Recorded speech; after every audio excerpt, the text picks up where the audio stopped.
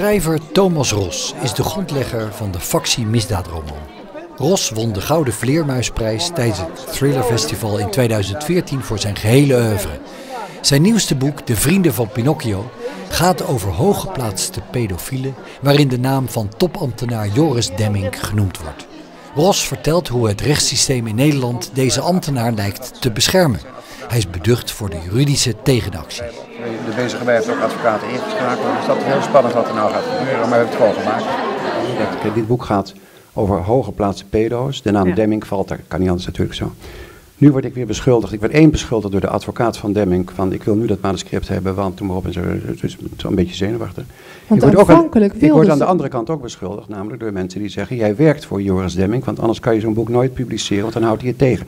Dus ik begrijp, de, de, de helft van Nederland die op internet zit, is, sta, is ontsnapt uit een inrichting. Dus ik, ik lees het ook niet meer. Maar ik krijg, het, ik krijg het wel door. Ik antwoord daar niet op. U heeft eh, Pinocchio genomen als eh, titel. Waarom heeft u dat eh, gedaan?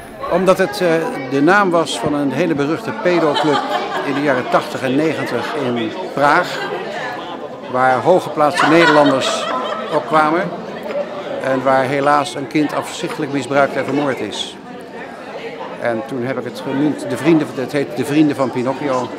Kijk, ik heb vier grote onderzoeken ben ik nagelopen waarbij het gaat om kindermisbruik, kindermishandeling, ook heteroseksueel hoor, porno.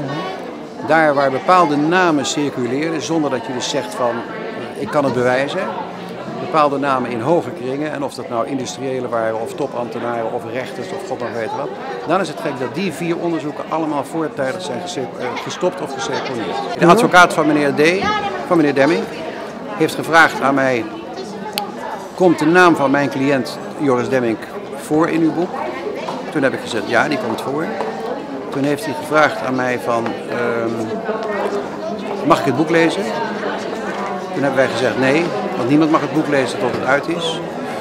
Eh, toen hebben wij, hij heeft gezegd, wij zullen het boek niet tegenhouden. Maar dan wordt er natuurlijk wel gelezen en gekeken, zit er reputatieschade in, beschuldig ik iemand ten onrechte, dan kan die natuurlijk eh, schadevergoeding vragen. Heeft u een hoop zelfcensuur eh, toegepast? Nee. Want u Ik heb realiseert één zich ding, wel heb één ding, ja, ik heb zelfs, eh, ik lees mijn boeken altijd voor, voordat ze weggaat aan mijn vrouw, die niet van spannende boeken houdt. Dus dat is een hele goeie voor mij. En die zei op een gegeven moment, stop eens, je bent, nou, je bent bijna bezig om Joris Demming te, te verdedigen. Want ik geef één man in het boek een rol Ja. die gelooft in Demming, die gelooft dat hij onschuldig is. Ja. En toen zei ik, nee, ik laat het één man doen. Ik geef een beetje tegenwicht eigenlijk, want anders wordt het zo'n fanatiek jagerboek en noem maar op en zo. Maar dat heb ik, toen mijn vrouw dat zei, heb ik toch iets afgezwakt. Dus ik heb het iets anders gedraaid. Maar ik heb geen censuur gepleegd, nee. Komt er nog een vervolg op dit boek? Nee, want ik denk dat de zaak Demming eigenlijk nooit wordt opgelost. Als er een uitspraak... Ik zou nu willen... Kijk, ik geloof dat eind dit jaar komt er toch nog een uitspraak. Maar de zaak is al geseponeerd.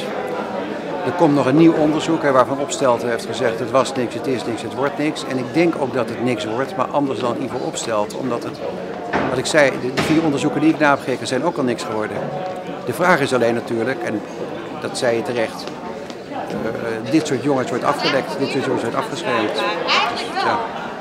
Wie geven wij dit jaar, dames en heren, de gouden vleermuis?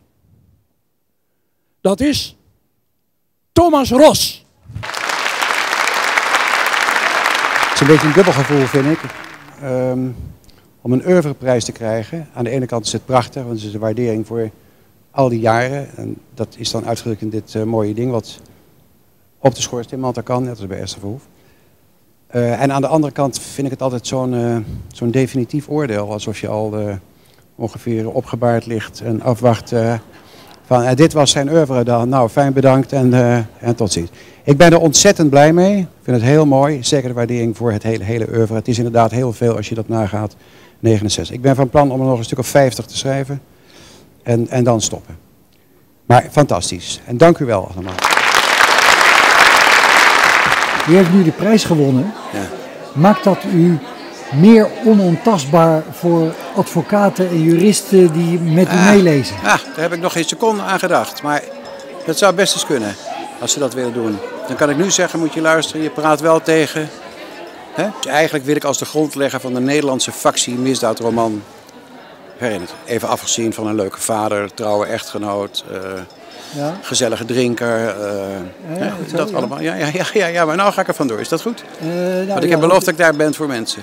Oké, okay, goed zo. Mag dat? Ja, dat mag. Hartstikke. Ik zie ik er terug op Crime Zone dit? ja, absoluut. Hartstikke goed. Goed hoor. Hey, dankjewel hoor.